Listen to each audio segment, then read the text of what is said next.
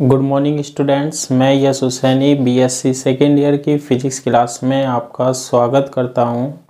Previous class में हम AND gate NOT gate OR gate XOR gate है ना? इनके बारे में हम स्टडी कर चुके थे और इनसे रिलेटेड न्यूमेरिकल भी देख लिए थे, है ना? अब हम एक और न्यूमेरिकल देखते हैं जो यूनिवर्सिटी में बहुत मिलता है देखने को।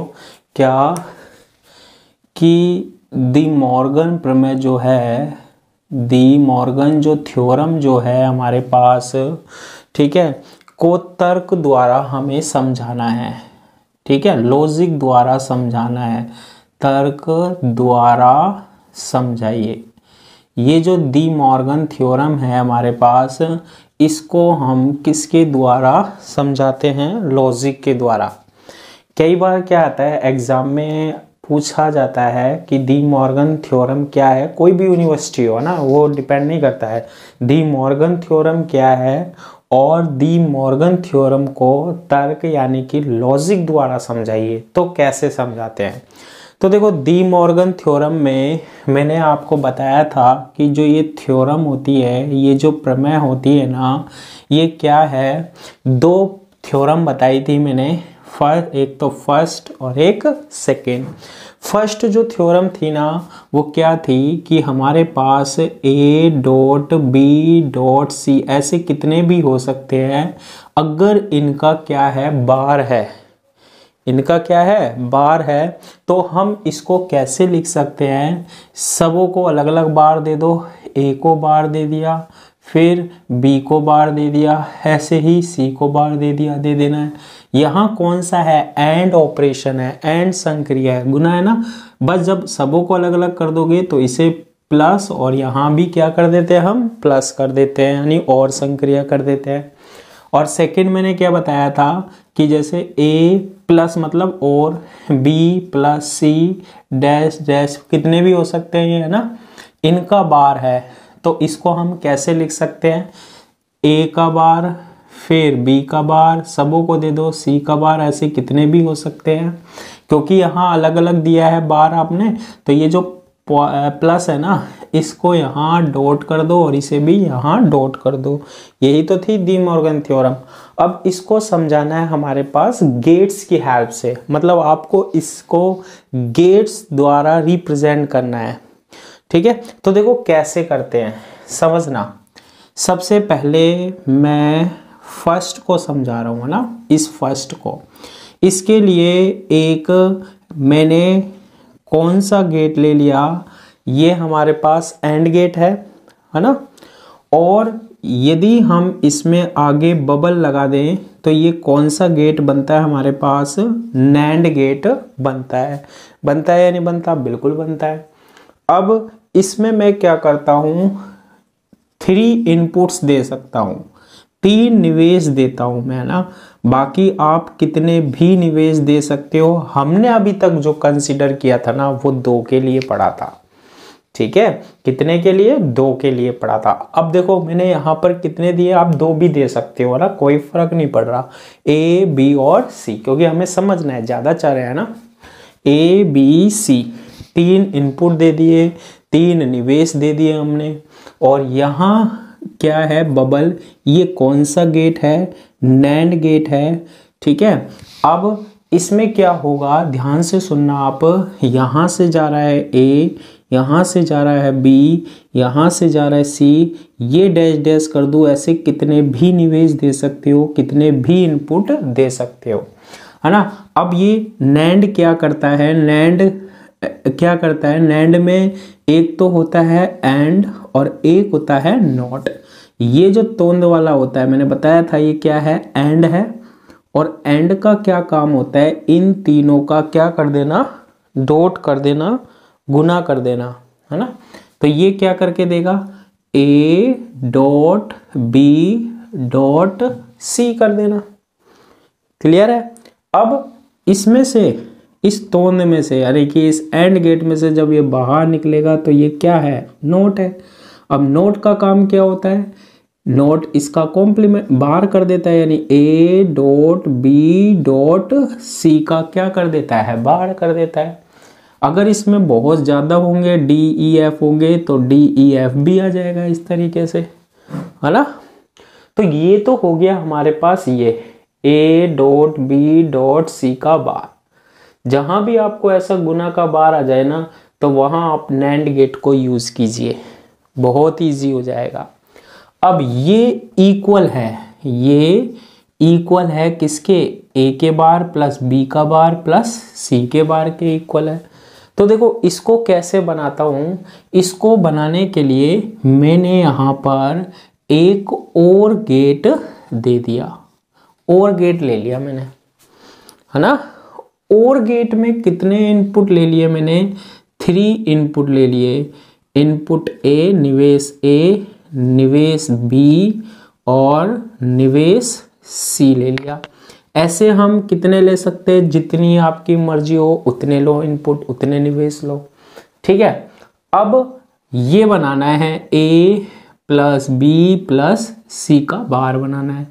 तो देखो, इसके लिए मैं क्या करता हूँ, यहाँ एक बबल लगा देता हूँ, यहाँ भी एक बबल लगा देता हूँ, यहाँ भी एक बबल लगा देता हूँ। ठीक है?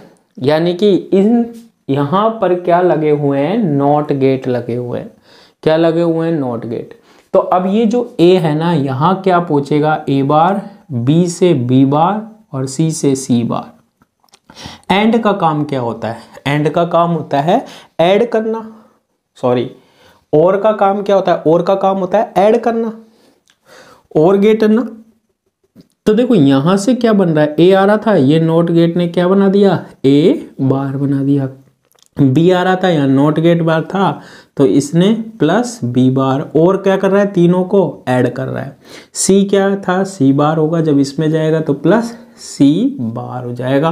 कितने भी हों ये, यानी कि ये तो इसके इक्वल है और ये इसके इक्वल है। यानी इसको हम ऐसा बना सकते हैं। ये है हमारी दी मॉर्गन थ्योरम। किसके द्वारा? तर्क के द्वारा लॉजिक के द्वारा रिप्रेजेंट कर दिया। गई बात समझ में? A dot B dot C का बार ये रिप्रेजेंट कर रहा है इस तरीके से। और A bar plus B bar plus C bar इसको कौन रिप्रेजेंट कर रहा है? ये रिप्रेजेंट कर रहा है। ठीक है? तो इस तरीके से आप ये थ्योरम को रिप्रेजेंट कर सकते हो, प्रदर्शित कर सकते हो। ठीक है? अब हम इसको सेकंड को भी देख लेते हैं, देखो। सेकंड क्या है? A plus B plus C यानी ऐड हो रहा है। ऐड होने का मतलब और गेट काम में आएगा और उसका बार है, यानी कि नॉट गेट भी काम में आएगा। तो सबसे पहले मैं क्या करता हूँ, ये दूसरी थ्योरम को रिप्रेजेंट करने के लिए और गेट ले लेता हूँ। ये क्या है हमारे पास? और गेट है। निवेश या इनपुट कितने लो भाई? जितने मर्ज़ी होंगे ना, उतने लेंगे हम तो। हाँ हाँ बिल्कुल लो। कितने ले लिए? ए बी सी तीन इनपुट ले लिए, तीन निवेश ले लिए। और ये हमारे पास क्या है? कितने भी ले लिए। इसका मतलब क्या है? कितने भी ले लिए, जितने ले सको। ठीक है? इसके आगे मैं नोट लगा देता हूँ। बबल का मतलब भी नोट होता है भैया, जोड़ दे जब। बबल है, इसे बोलते हैं बबल और इसका मतलब ही नोट होता है। तो यहाँ देखो, अब देखो, ये चीज़ जो है ना, ये ये ये। ये इसके द्वारा रिप्रेजेंट हो रही है, नहीं हो रही। करेंगे भाई, कैसे नहीं होगी, देखो। ए बी सी है ना? और क्या करता है? जोड़ देता है। A plus B plus C ये काम और का ही तो होता है, क्योंकि और का मैंने बताया था एक्स इज़ इक्वल टू क्या होता था? ए प्लस बी होता था। होता था या नहीं होता था? इसका व्यंजक। होता था भैया, होता था होता था होता था। फिर इसके बाद ये यहाँ से गया, ये बैठा है भैया गोल्ड बटोल नोर गेट। ठीक है? क्या बैठा है ये?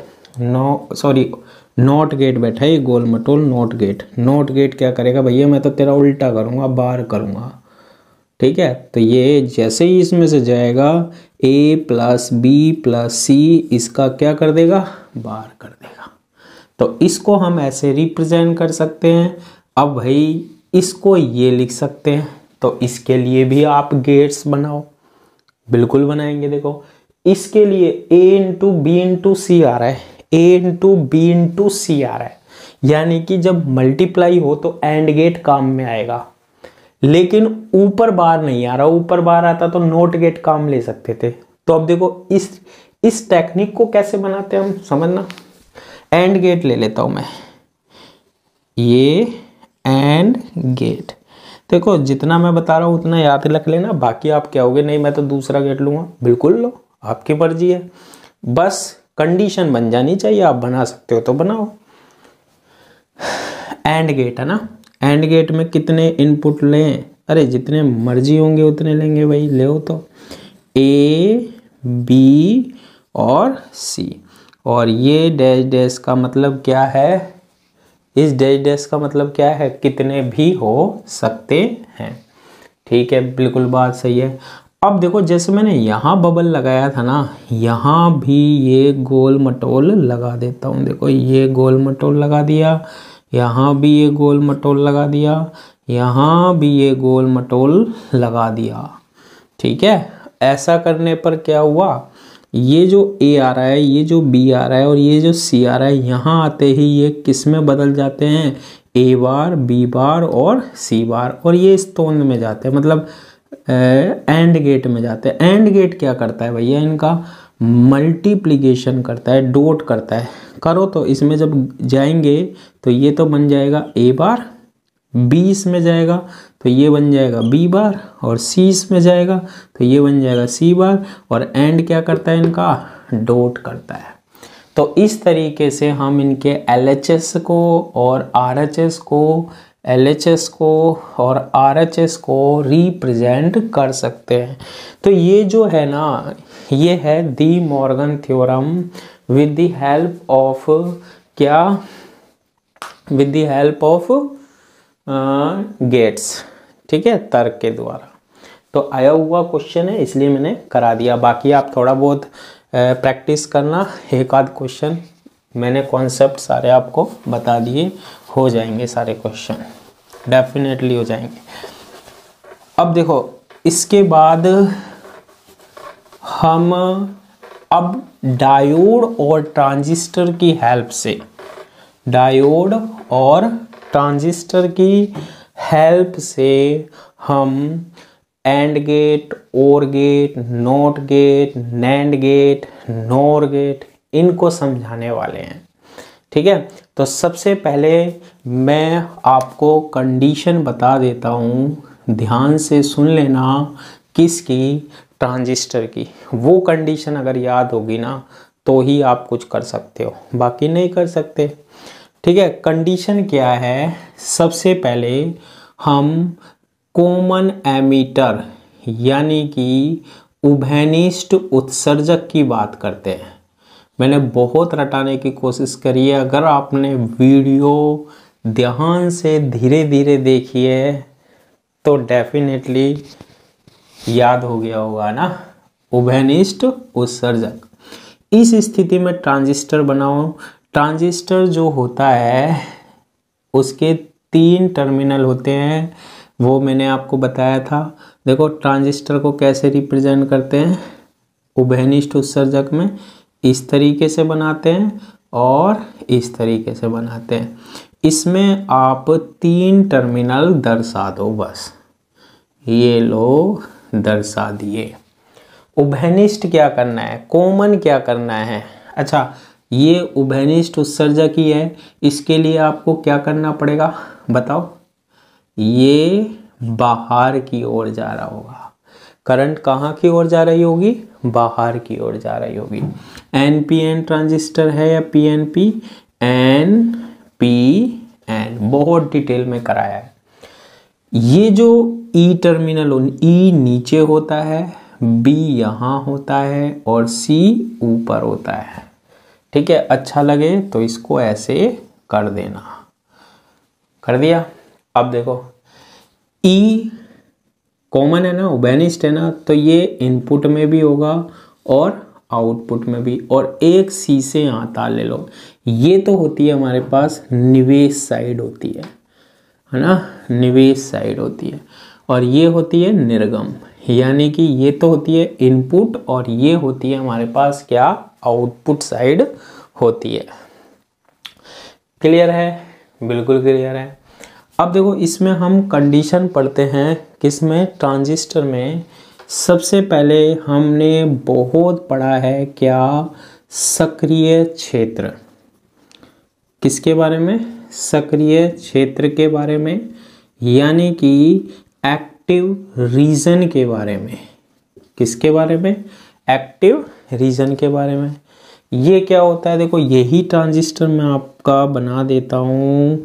फटाफट बनेगा ये ये ये ये हो गया सी ये हो गया बी ये हो गया ई e, ये यहाँ ये यहाँ ये यहाँ ये यू ये एन ये पी और ये एन ठीक है?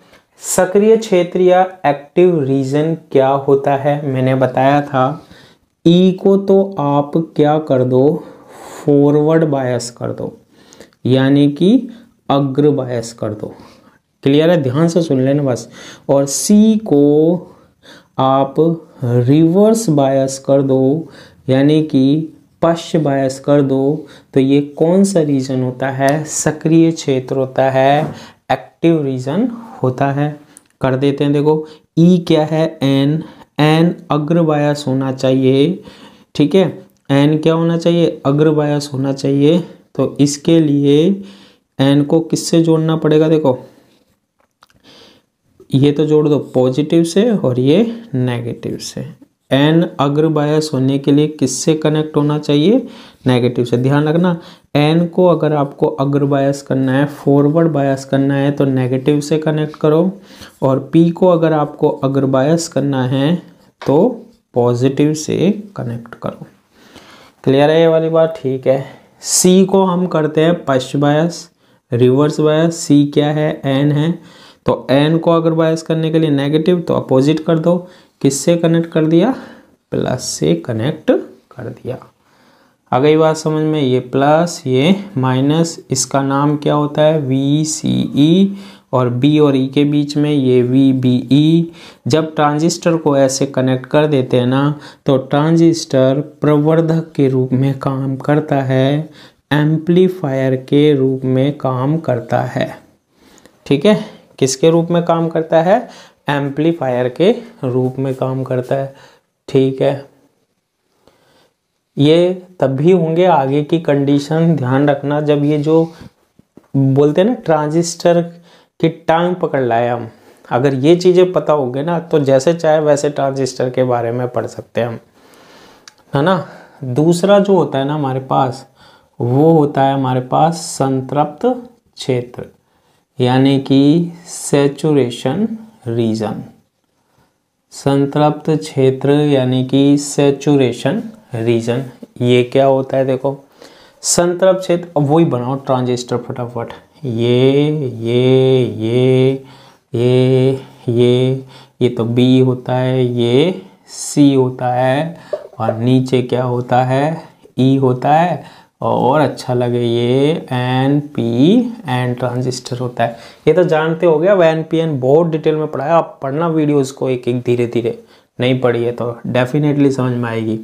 ई e को एक तार लो निवेश में इनपुट में और एक यहाँ निर्गत। यहाँ साइड जो होती है वो निवेश होती है इनपुट होती है। और ये जो साइड होती है ना सी से एक, ये दो टर्मिनलों के बीच में एक साइड होती है। यहाँ से हम लेते हैं, निर्गम लेते हैं। आउटपुट लेते हैं ना, दो पॉइंटों के बीच में लेते हैं, एक पॉजिटिव और एक नेगेटिव। जब हमारे पास संतृप्त क्षेत्र होता है ना सेचुरेशन रीजन होता है। संतृप्त क्षेत्र होता है ना सेचुरेशन रीजन होता है ना, उस स्थिति में ई e को भी आपको क्या करना है ई e को क्या करना है, अग्र बायस करना है फॉरवर्ड बायस करना है, और सी को भी आपको क्या करना है फॉरवर्ड बायस करना है। यानी ई e भी अग्र बायस कर दो और सी भी अगर बायस कर दो उत्सर्जक आधार संधि अग्र बायस होती है, संग्राहक और आधार संधि पश्च बायस होती है रिवर्स बायस होती है। लेकिन मैं ये कीवर्ड बता रहा हूँ ताकि आप कंफ्यूज ना हो। ई e को देखो और एक बार निर्गत में सी को देखो। कंफ्यूज ना हो इसलिए। ठीक है? तो बहुत इजीली हम कनेक्ट कर सकते हैं। करें? देखो। ई e को फॉरवर्ड बायस करना है। ई e क्या है? ई e है हमारे पास एन किससे कनेक्ट कर दो? पॉजिटिव और नेगेटिव से कनेक्ट कर दिया। ई e क्या है? एन एन को अगर बायस करने के लिए किससे कनेक्ट करना होगा? नेगेटिव से कनेक्ट करना होगा। फिर आता है हमारे पास सी सी क्या है? एन है। सी क्या है हमारे पास? एन है। तो सी को सी को अगर बायस करना होता है सी क्या है? एन एन को अगर बायस करना है तो इसको भी किससे कनेक्ट कर लो? नेगेटिव ज़्यादा दिमाग नहीं लगाना है। ये शॉर्ट मैंने आपको एक तरीके से याद रख ले। बहुत जल्दी बन जाए, इसलिए मैंने ये बताया है ना। नेगेटिव और पॉजिटिव बना दिया। बना दिया। अब देखो, ऐसी कंडीशन में, ऐसी कंडीशन में यहाँ ये जो पॉजिटिव आ रहा है ना, वो कहाँ आ रहा है? बी पर आ रहा है। कहाँ आ रहा है? बी पर आ रहा है। ठीक है?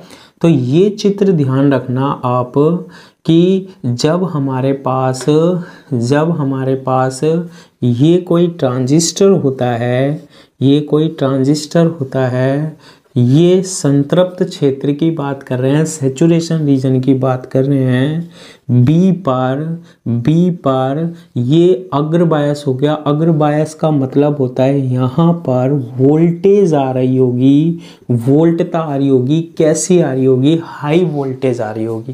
क्योंकि अग्र बायस करा है, पाँच का पाँच वोल्ट आ रहा होगा, आ रहा होगा तो। आ रहा होगा ना? क्योंकि हमने क्या किया? है अग्र बायस सारा का सारा वोल्टेज यहाँ आ रहा है, उच्च वोल्टता आ रही है। अग्रबायस का मतलब पाँच वोल्ट मिल रहा है इसको। ऐसी कंडीशन में यहाँ जब हम निर्गम साइड की बात करते हैं ना तो ये जो ट्रांजिस्टर जो होता है, ठीक है, ये तो कंडीशन होती है सेचुरेशन की। इस कंडीशन में, क्योंकि ये भी निर्गम भी हमारे पास क्या है नेगेटिव और पॉजिटिव और यहाँ करंट फ्लो होती है, कौन सी? आईसी ऐसी कंडीशन में ट्रांजिस्टर में ये जो सी और ई e होता है, इनके बीच में ट्रांजिस्टर एक बंद स्विच की तरह, क्लोज स्विच की तरह काम करता है। ऑन स्विच की तरह काम करता है ट्रांजिस्टर। बंद स्विच की तरह काम करता है। कब? जब बी पर उच्च वोल्टता आ रही हो सेचुरेशन रीजन में होता है ट्रांजिस्टर। और इस स्थिति में ये किसकी तरह काम करता है? बंद स्विच की तरह। ये चीज़ आप याद रख लेना। ठीक है? कब? बी पर उच्च वोल्टता आ रही है। ट्रांजिस्टर संतृप्त क्षेत्र में है, तभी आएगी। क्लियर है? और इस स्थिति में ये किसकी तरह काम करता है? बंद स्विच की तरह, क्योंकि ये भी अग्रबायस हो जाता है। यहाँ से करंट फ्लो होके नीचे आ जाती है। तीसरा जो क्षेत्र होता है ना, वो याद रखना है, अंतक क्षेत्र होता है। ठीक है? अंतक क्षेत्र यानी कि कट ऑफ़ रीजन अंतक क्षेत्र यानी कि कट ऑफ़ रीजन इसमें क्या होता है देखो? अंतक क्षेत्र यानी कि क्या? कट ऑफ़ रीजन इसमें क्या होता है? ये हमारे पास क्या है? ट्रांजिस्टर है।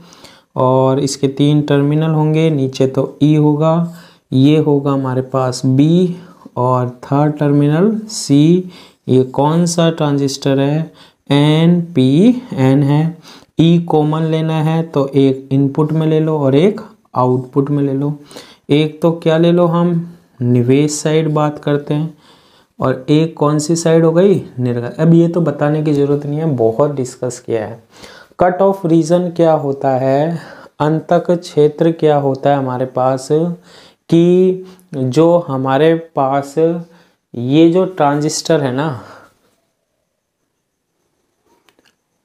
तो अंतक क्षेत्र की बात कर रहे थे, कट ऑफ़ रीजन की बात कर रहे थे तो इसमें क्या होता है कि जो हमारे पास ई e होता है ना, उसको क्या कर दो? रिवर्स बायस कर दो, यानी पश बायस कर दो। और जो बी और जो सी होता है ना सी इसे भी रिवर्स बायस कर दो पश्च बायस कर दो। तो ट्रांजिस्टर कौन से क्षेत्र में होता है? अंतक क्षेत्र में होता है कट ऑफ़ रीजन में होता है। है ना? अब देखो, ये ई e है इनपुट में देखो, निवेश में ई e को देखते हैं। ई e को क्या करना है? ई e क्या है? एन है। और एन को हमें क्या करना है? रिवर्स बायस तो एन किससे जुड़ा होगा बताओ? पॉजिटिव से जुड़ा होगा। प्लस और माइनस पॉजिटिव से जुड़ा होगा। निर्गत साइड में आओ। निर्गत साइड में भी पश्च करना है। सी को पश्च करो। सी क्या है? एन है। एन को पश्च करना है। एन नेगेटिव को नेगेटिव से नेगेटिव से जोड़ते तो अगर होता है। तो इसको किससे जोड़ो? पॉजिटिव से जोड़ दिया। प्लस माइनस जब ये कंडीशन लगती है ना तो ये गया कौन से क्षेत्र में? ट्रांजिस्टर अंतक क्षेत्र में कट ऑफ़ रीजन में गया। किसमें गया ट्रांजिस्टर कट ऑफ़ रीजन में गया। इस कंडीशन में, देखो यही कंडीशन आगे काम में आनी है। इस कंडीशन में क्या होगा कि ये जो ट्रांजिस्टर है ना हमारा, ये ये जो ट्रांजिस्टर है, ये ये और ये ये बी है, ये सी है ओहो सी नीचे क्यों आ रहा है? ई है और ये सी है। अब देखो, जब हमने ये अंतक क्षेत्र में लगा दिया, कट ऑफ़ रीजन में लगा दिया तो उस स्थिति में बी क्या है? बी क्या है? पी है। पश्च बायस हो गया भैया। पश्च बायस हो गया तो इसकी जो वोल्टता आ रही है ना यहाँ पर बी पर, अब वो कम आ रही है। पश्च बायस का मतलब देखो, यहाँ तो जैसे इसका मान पाँच वोल्ट था, यहाँ अग्र बायस थी तो पाँच वोल्ट इधर आ रही है। पश्च बायस करेंगे तो नेगेटिव यानी माइनस पाँच वोल्ट आ रही है बी पर। बहुत कम हुई या नहीं हुई? हो गई। पश्च बायस करते हैं तो यहाँ वोल्टता बहुत कम पहुँचती है। तो हम कह सकते हैं कि बी पर वोल्टता जो होती है ना, वो कम होती है, न्यूनतम होती है। कम वोल्टता होती है और न्यूनतम वोल्टता होती है है ना? इस स्थिति में ये सी भी पश्च बायस होता है। पश्च बायस होता है तो यहाँ भी कोई करंट फ्लो नहीं होती है। यहाँ भी आईसी करंट आती है, वो फ्लो नहीं होती है। और ये जो ट्रांजिस्टर जो होता है ना, वो किसकी तरह व्यवहार करता है? ध्यान देना, ये खुले की तरह। ओपन की तरह व्यवहार करता है। किसकी तरह व्यवहार करता है? खुले की तरह, ओपन की तरह क्या करता है? व्यवहार करता है। यानी कि ये जो सी और ई e है ना, ये इनके बीच में कुछ भी नहीं है, कोई करंट फ्लो नहीं होती है। कोई करंट फ्लो नहीं होती है, खुले की तरह व्यवहार करता है। अब देखो, ये दोनों कंडीशन काम में आने वाली है जब हम आगे के जो लेक्चर देखेंगे उनमें ना क्या क्या संतृप्त क्षेत्र यानी सेचुरेशन रीजन कब होगा? जब बी पर उच्च वोल्टता होगी तो ये ट्रांजिस्टर संतृप्त क्षेत्र में काम करता है और संतृप्त क्षेत्र में ये जो सी होता है, ये ई E होता है, यहाँ से यहाँ एक तार की तरह काम करता है ये ट्रांजिस्टर सी से ई E एक तार की तरह, जिसे हम बोलते हैं एज ए स्विच काम करता है, बंद स्विच की तरह क्या करता है? काम करता है कौन? ट्रांजिस्टर ठीक है? अगर हम अंतक क्षेत्र की बात करते हैं, यदि बी पर वोल्टता कम आ रही है, न्यूनतम आ रही है तो ट्रांजिस्टर कौन से क्षेत्र में गया? अंतक क्षेत्र में गया। कंडीशन ये होती है, क्योंकि ये भी पश्च बायस होता है, कोई करंट फ्लो नहीं होती तो सी और ई e जो होगा ना, वो ओपन होता है, यहाँ से कोई करंट फ्लो नहीं होती है, ये खुले की तरह व्यवहार करता है ओपन की तरह व्यवहार करता है। तो ये कंडीशन है हमारे पास, ध्यान रखना। नेक्स्ट क्लास में हम डिस्कस करने वाले हैं जो टॉपिक एक तो सेचुरेशन की और एक अंतक क्षेत्र की। और उसमें भी ये चीज़ याद रखनी है, ये कैसे बनी? ठीक है? यहाँ करंट क्यों नहीं फिल हुई? इसलिए नहीं हुई क्योंकि ये पश्च बायस है। यहाँ बी पर वोल्टता कैसी आ रही है? न्यूनतम, क्योंकि ये पश्च बायस है। यहाँ पर बी पर वोल्टता कैसी आ रही है? उच्च।